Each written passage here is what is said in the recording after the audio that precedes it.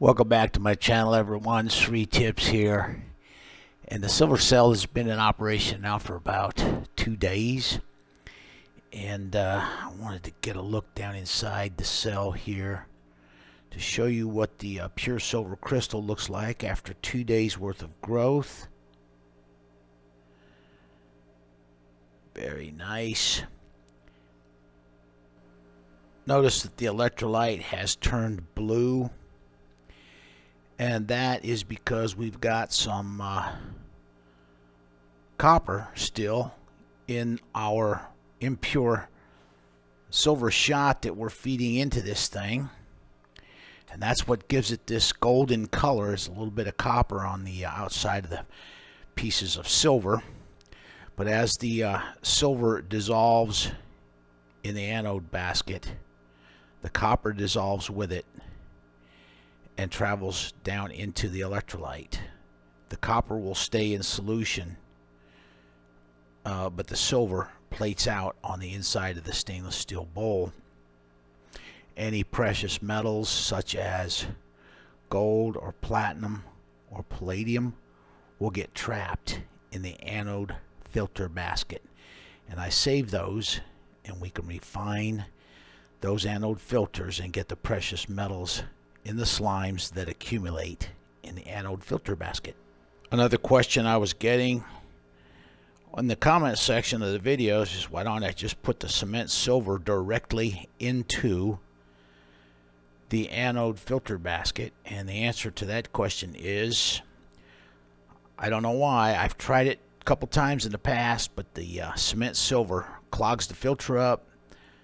The electrical current drops off and it just does not work well. Uh, the shot is the best way to go here as uh, the feedstock.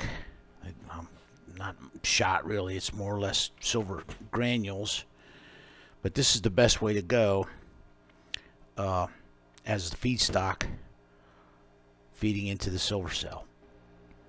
I hate getting around the silver cell without any gloves, but uh, they cut a bump off my thumb here yesterday and I can't get a glove on this hand so I'm going to have to do this.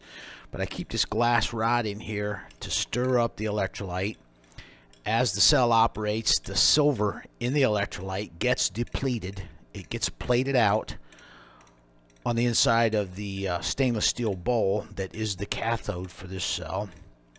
And uh, what happens is it, it gets depleted more down near the uh, right at the cathode. And if we're not careful uh, we could get some of the copper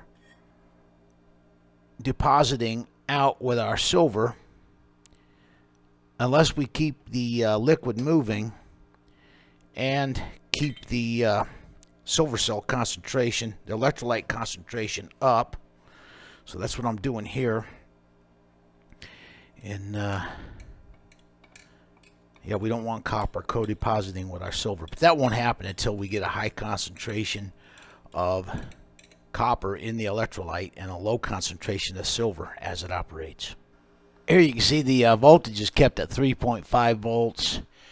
I found that to be the best setting here uh, and constant voltage at 3.5 and then let the amps go wherever they may based on whatever conditions exist in the cell. But we got 1.12 amps and now what we're gonna do is I'm gonna reinstall the cover down here. I keep a just a paper over the opening to prevent anything from falling down in there.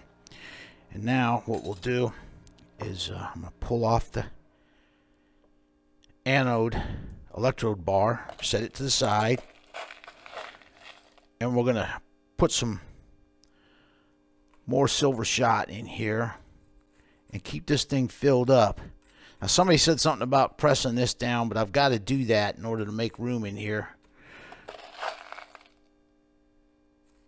Alright, now what we'll do is reinstall this. You'll hear the power supply take off again when I do this.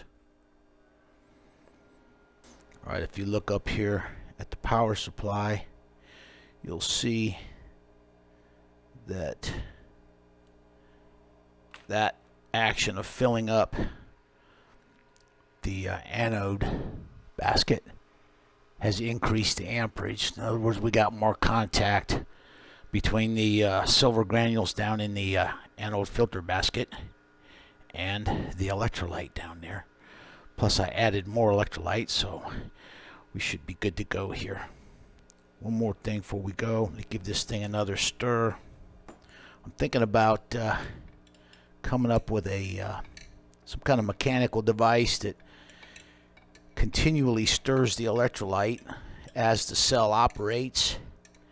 And I'm uh, toying with the idea of putting some kind of Teflon or some kind of inert material down in there as a uh, stir bar. So, this will conclude the video. One more look down in here. It's just gorgeous. This is like having a silver mine in your garage.